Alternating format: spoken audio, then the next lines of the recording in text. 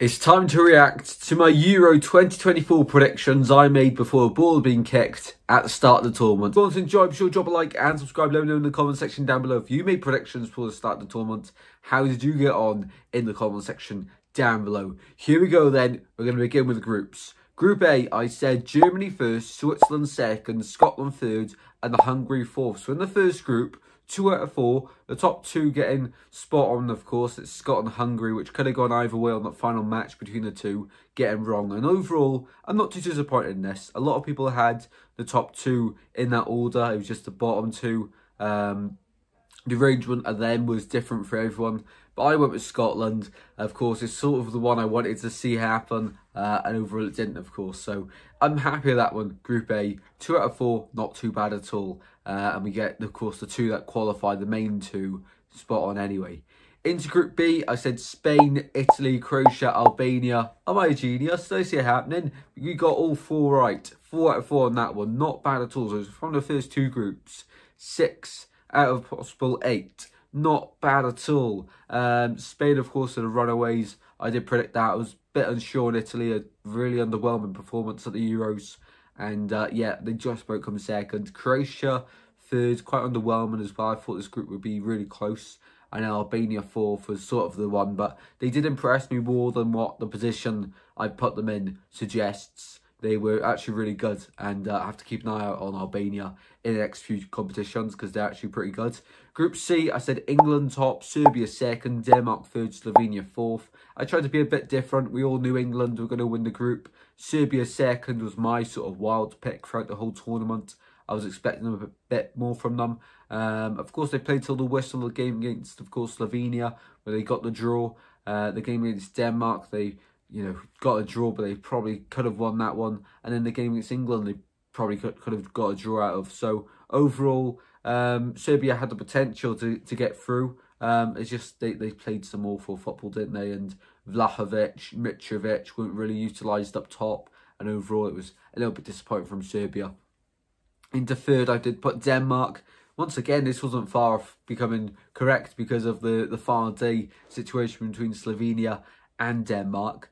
Um, but overall, Denmark, I have got them one place off here. Not too bad at all. Uh, they, they haven't had a great tournament, though. I know the last few Euros, we've all been hyping up Denmark, but they still haven't really delivered much of our expectations. Yes, they got knocked out to the host Germany, who were unbelievable. But even in the group stage, you know, it was... Uh, was it two draws or, or three draws overall? It was quite a lot of draws for, for Denmark this Euro. So yeah, uh, a little bit underwhelming, but a few good performances in there from Denmark. And of course, fourth, I put Slovenia.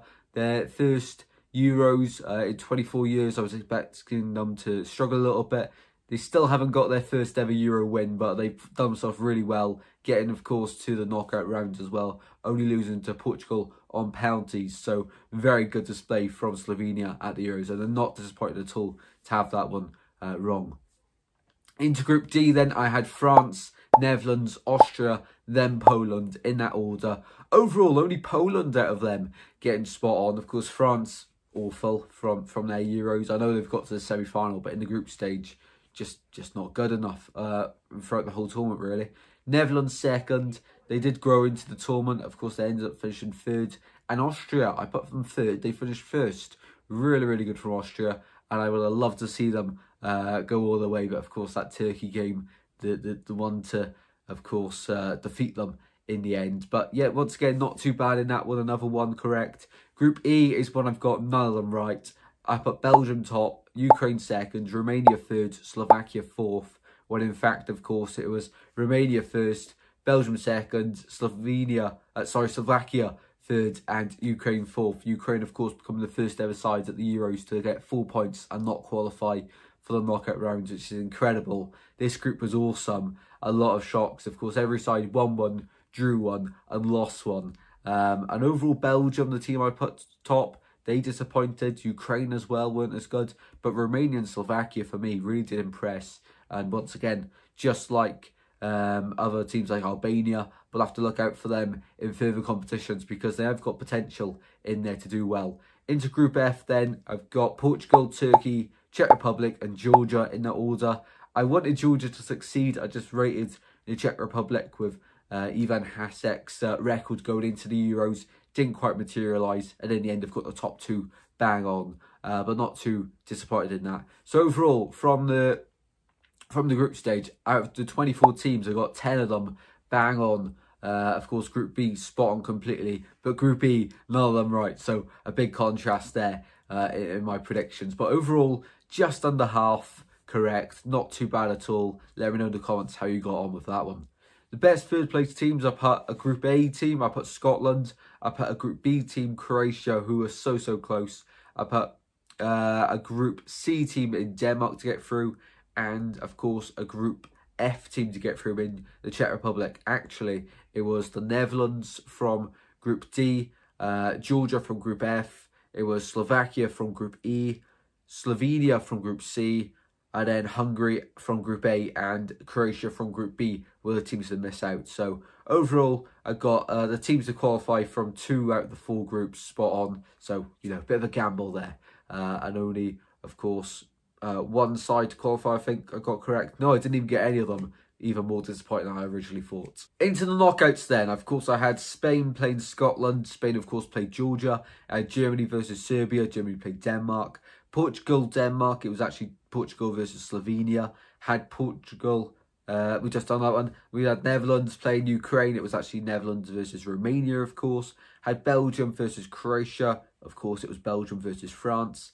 I had France versus Turkey predicted. It of course, it was Austria versus Turkey. England and the Czech Republic, it was England versus Slovakia. And I had Switzerland versus Italy, which actually happened. So that's something to take away from the round of 16. Um, overall, a few of them surprised then. Uh, of course, we had expected the likes of France to top their group. Of course, they come, only come second. We expected um, the likes of, of course, Denmark to come second. They did. Well, I didn't expect them to come second, of course. Uh, we expected Netherlands to come second, of course, third. Uh, Belgium to top their group as well didn't happen. So there's quite a few teams that did underperform or overperform at this tournament so far. Into the quarterfinals, of course, I had Spain, Germany to play. That actually happened. In the start of the tournament, I did say Germany would win this game. But of course, it was Spain, and for a long time in the build up to this game, I said the winner of this one would win the tournament, and that is what happened. We had Portugal, Netherlands as my prediction. It was, of course, Turkey versus Netherlands. Uh, Portugal actually played France, but I predicted it to be work out as Belgium versus France, and then England versus Italy, where in fact it was England Switzerland. So very close to getting that last one right. Uh, overall, not not too bad at all. Of course, I predicted Portugal to get this far, France as well. Uh, Turkey surprised me a little bit there as well, so not too bad at all there. I did think we'd see Italy, England again, but of course Italy massively underperformed at this year's Euros. Into the semi-final, I said it would be Germany, Portugal and France, England. I feel like everyone going into the tournament had these four teams at, of course, the, the semi-final stage. Well, in fact, it was Spain, France and Netherlands, England. So I've got two out of the four teams there to reach the semi-final spot on in France and England. Um, the probably the other two teams, Netherlands and, and Spain, probably were the uh, obvious choice maybe out of them. But not too bad at all there. And of course, in the final, it was Spain England. I predicted it to be a repeat of 2016 with Portugal France and Spain winning. Of course, I said France to win it. So overall, I'm not too disappointed in my predictions at all. I feel like we've done quite well. And if you have a look at the Golden Boot going into tournament, I said it would be the top three of Harry Kane, and Mbappe and Ronaldo. Harry Kane's on the list. Mbappe really did disappoint, only one goal from him. And Ronaldo didn't even score a goal, which we all expected him to. In the end, of course, the Golden Boot has been shared between six players, all on three goals. Uh, Gakpo, Olmo, Schranz, Musiala, Kane and Mikautadze. Uh, so, yeah, we got that one horribly wrong. Only Kane in there, which I'll sort of take that one, you know, he's you know, I did put him top of the Golden Boot, and he will get uh, one of the six awards there. So I'll take that one. Best player, I said I put, I put three nominations up: Mbappe, Saliba, and Bruno Fernandes. Of course, player of the tournament went to Rodri. Uh, so not quite there. I was heavily backing either Portugal or France to do well at this tournament.